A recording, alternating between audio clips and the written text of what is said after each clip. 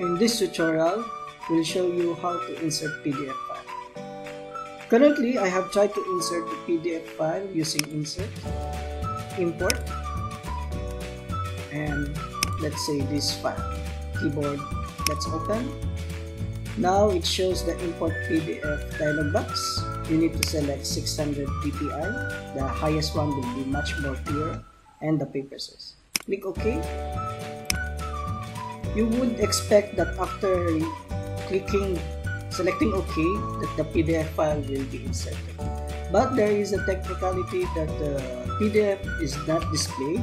But when you check in the manage link under PDF it's not shown. Images also not shown. So basically you try again. I'll just do it again. Insert again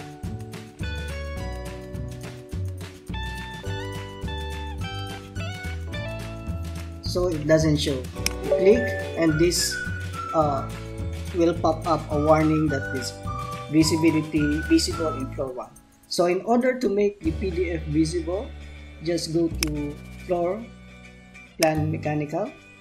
Here in the visibility graphics select edit. Now you have to cross you have to select the model categories you have to scroll down and make sure you search for raster image and check the box to visibility.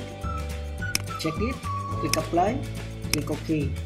Now you see that the PDF file is visible because once you open the Revit, it will some of the visibility settings are turned off. So one of it is the raster image. So that is how you insert PDF file and if you have some technical issues that your file is not displayed once you insert it just go to the visibility graphics and check the raster image uh, checkbox so that your files will be thank you